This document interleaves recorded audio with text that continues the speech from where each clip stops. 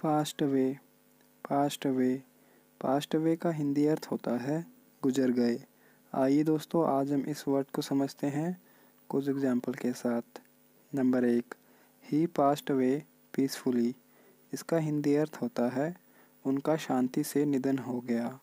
इसी तरह दूसरा एग्ज़ाम्पल है हमारा ही unfortunately passed way last year इसका हिंदी अर्थ होता है दुर्भाग्य से पिछले साल उनका निधन हो गया।